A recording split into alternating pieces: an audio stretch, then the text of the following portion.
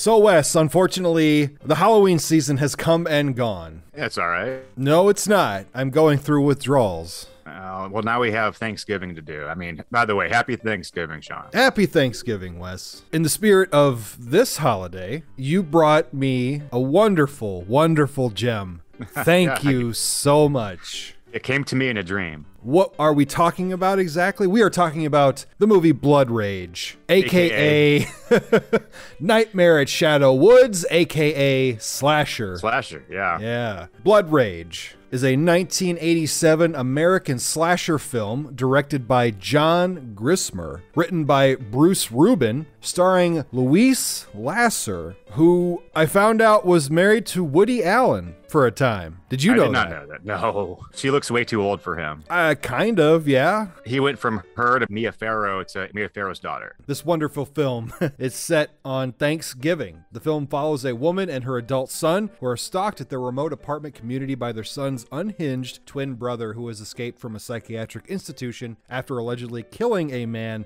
in cold blood years earlier. So we're meant to believe. The only other actor in this movie worth pointing out is a small cameo by Don't say it yet. one. Don't say it. Don't say it yet. Wait till wait till they get there. okay, It's fine. the best part of the movie. All right, we won't spoil it. Filmed in I'll- 1983 in Jacksonville, Florida, it was released theatrically under the title Nightmare at Shadow Woods in 1987 in a censored cut which eliminated much of the film's elaborate gore special effects. It was subsequently released on home video under the title Blood Rage, though the opening credits confusingly identify the film's title as Slasher. So there Yeah. you go. Not going to get more much more convoluted than that. No, not really. So, Wes, what is your history with this film? Uh, Not really anything. I think I found it on a list of like serviceable 80s slasher movies a couple years ago when I first started really watching them. This one just made like some kind of list that said like this movie is so bad it's good, it's fun. So I watched it and I agreed. And then I haven't watched it since until just now. I'm gonna guess that you don't have a history with this movie. Zero. I had never heard of this movie till you suggested it. Oh,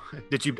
when I when I texted you the other day, did you like IMDb it or anything or what? I went in cold. I, I knew nothing. That's yeah, that's probably better off. Our movie begins. Identical twins Todd and Terry. They are at a drive in theater one night in 1974, Jacksonville, Florida. Nothing screams Thanksgiving for a setting yeah, like Florida with the palm trees. Our tease is from the beginning of the episode. Our surprise cameo Mr. Ted Raimi, brother Ted of Raimi. Samuel. Samuel Raimi, Yeah. most famous for directing The Gift, starring Katie Holmes. We end up seeing a elderly woman making out with a middle-aged gentleman at, a, at the drive-in theater, and the kids wake up and say, "Mom's at it again." They sneak out the back of the car without anyone noticing because you know when you open up a door of the car, even back in the '80s, a light would come on, but they didn't notice that. He's apparently triggered by his mother's promiscuity. Yeah, which inspires Terry to take a hatchet and murder a teenager having sex with his girlfriend in the back seat of their car. and he looks up and sees the kid and he goes, Hey, hey, get out of here, creep, get out of here.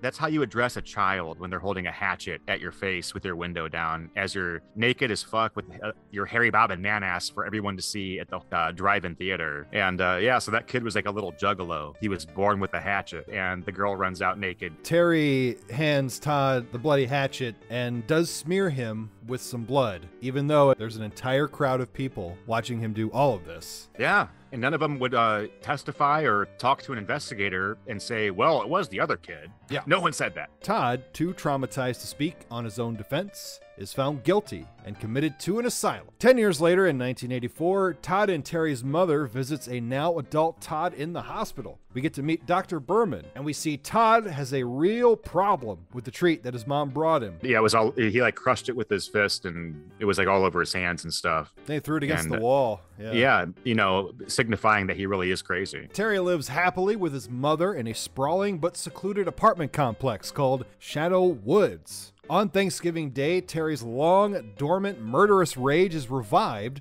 when his mother gets engaged to her fiance Brad, who owns the complex. Yeah, don't, well, he's he's the manager. Don't gloss over the dinner. I mean, this is Thanksgiving dinner, and it looks delicious. There's you know turkey and you know stuff, stuffing, stuff. So now that that's where this all sets up to where the next thing that we do learn is that it's possible that Todd has um, escaped the uh, asylum. That is correct. They receive a phone call. The family learns that twin brother Todd has escaped from his mental hospital and may be heading home. And the mom pleads with um, Terry and says, "Just don't tell anybody. Let's just enjoy dinner tonight, and we'll worry about this later." And Todd's like, "Yeah, mom, anything for you, mom." Walks out and he goes, "Hey, everybody! Todd's escaped from the mental asylum." Looks like you're gonna get a chance to meet the rest of the family. My psychotic brother just escaped. And from here on out, the mom is never acts right. Not No. that she acted right in anyway, but yeah, taking her kids on dates and shit when she was just as elderly ten years prior. Dr. Berman and her assistant Jackie arrive at Shadow Woods in search of Todd, with Jackie pulling a trank gun on him and aiming it right in Todd's face. That was so fucking funny, man. I loved Yeah. it. And then she came running up from behind. It's just a tranquilizer gun. It's okay. And then uh, the mom comes over and is like, What's going on, Terry? Oh my God, what's that gun for? Don't worry, mom. It's no big deal, is what Terry says. Brad talks to Jackie and Dr. Berman and they split up to look for Todd. While Brad is on the phone with Maddie, Terry murders him by chopping his right hand off with a machete before splitting his head open. His hand on the ground, still moving, clutching at the beer can. What a great effect. Tom Savini, eat your heart out. It was awesome. It was awesome, but it was bad.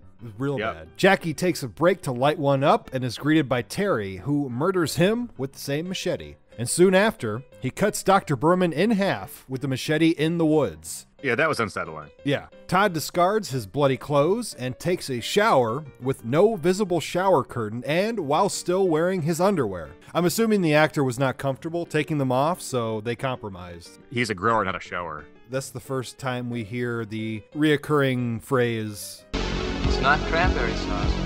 that's not cranberry sauce. Yeah, it's a really funny joke that he keeps saying. It's basically the catchphrase of the movie whenever there's blood anywhere. Todd then visits his neighbor Andrea, who is babysitting. Meanwhile, Terry's friend Karen bumps into Todd, who has arrived at Shadow Woods, and she believes he's Terry. When Todd reveals his true identity, You seem nice. I've never kissed a girl before. You really ought to try it sometime. I gotta go. Bye.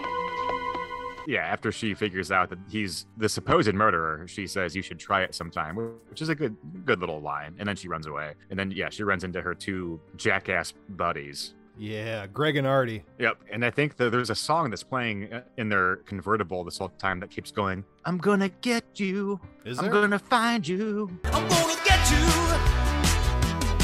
I'm gonna find you. I'm gonna get you. On and on and on. Yeah. Back with Andrea, she attempts to seduce Terry, but he seems completely uninterested right before her mother Julie and her date Mr. Bean arrive home. He's like a doctor or, an accountant or something like that, but he's rich because uh, the lady's a gold digger by, by easily, right? Uh, yeah, I'm assuming so. I don't know. She said to her baby, "I'm gonna get you a rich. I'm gonna get you a rich daddy." She also tells Terry, who immediately disappears into the night in search of his twin brother, while Karen and her friends Greg and Artie go to Andrea's house to party. Upon learning that son Todd has returned to Shadow Woods, Maddie begins to panic and drinks heavily. She has an emotional conversation with Todd about Terry's homecoming that ends with, Put on a sweater. The blue one. Just like your underwear. yeah, the blue one. Todd comes across Dr. Berman's body and becomes emotional. He even places her legs back where they should be. that was Gross. another laughing fit for me. He never learned science. He takes Dr. Berman's gun and goes off in search of his mass murdering twin brother. Back at Andrea's, Mr. Bean gets decapitated by Terry. Uh, Terry had hung it just so, so that when she looked out the people, she saw his mug, Mr. Bean's mug, and she opened up the door, and it's just his kappa that was dictated, uh, hanging by like an extension cord. I thought I thought it was funny. Oh, very. Then stabs Julie to death. This movie's like a donut. It's like sugary and good. It's also bad, and it's really it's over pretty quick. After this, the next few scenes kind of drag. We get a moment between Maddie and Todd, and then uh, Greg and Andrea pull a prank on Artie and Karen. It's Yeah, kind of the- the- boring during this point. Very ill-timed prank. They're actually worried about a murderer being out there. Well, some Yeah. people can't read the room, Wes. Uh, yeah, of course. And the makeup looked pretty good on that girl. Much better than the hand. I would say so. So after all that, Terry spies on Greg and Andrea playing tennis before he murders both of them by the swimming pool. Can I just tell you, as a, as a, as a tennis player, yeah. that was really funny. They were both standing in no man's land. If you're standing in no man's land, it means that you shouldn't be there because that's that's where you don't stand. But why would they get that right? Because nothing else in this movie is right. When Artie gets in his car, he's held at gunpoint by Todd, who tries to convince him that it's not him, but actually his brother Terry, who is murdering everyone. Todd flees when Terry sees him, leaving Artie with Terry. As Artie and Terry search for Todd, Artie is suddenly stabbed in the neck with a carving fork. And we get our second, that's not cranberry sauce. It's not cranberry sauce, Artie. Yeah, I mean, it gets funnier every time. Yeah. It should have been on the box art. Karen meets back up with Terry, who is covered in blood. She suggests that they call the police, and Terry tells her he loves her right before it- trying to kill her. Yeah, he starts swinging the uh, machete at her. I said, I love you. And he's not even close to where she's standing, too. That's the funniest part. But uh, yeah, so she starts running away.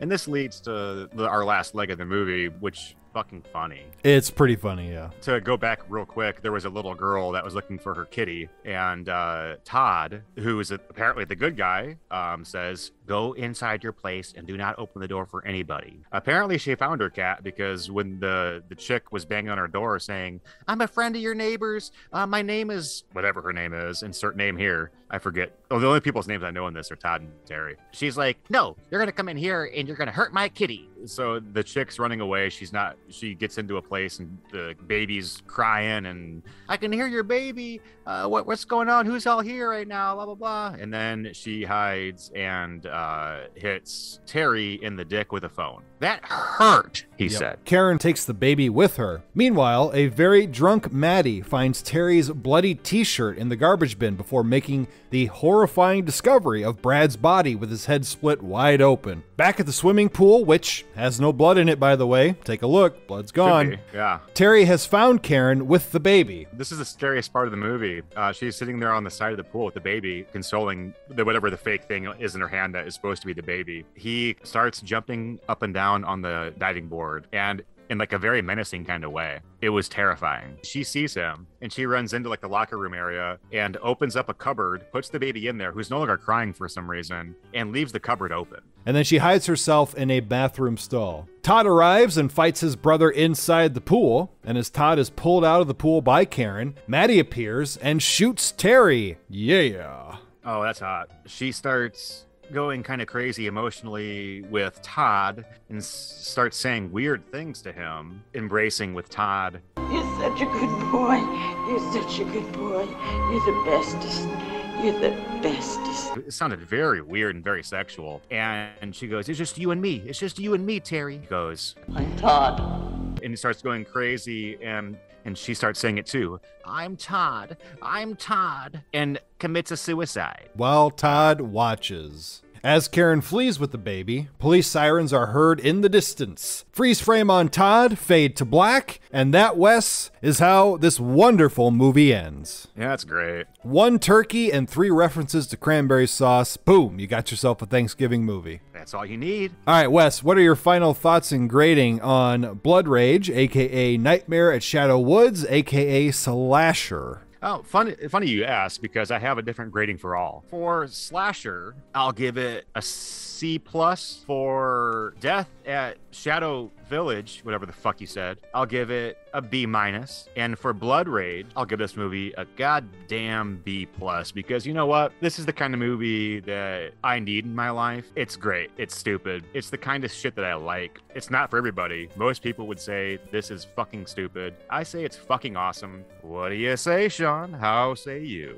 Oh, this is a solid A minus in my book. This is fun, it's dumb, it's bad, it's cheesy, garbage, and I love it. The acting, Yes. bad. The effects, bad. The story, dumb. But my God, it's a perfect storm. And uh, everybody, you can tell, was giving it their all. And that just makes for a great bad movie. I'll watch this again, no doubt. Yes. On the next Bizarre Show.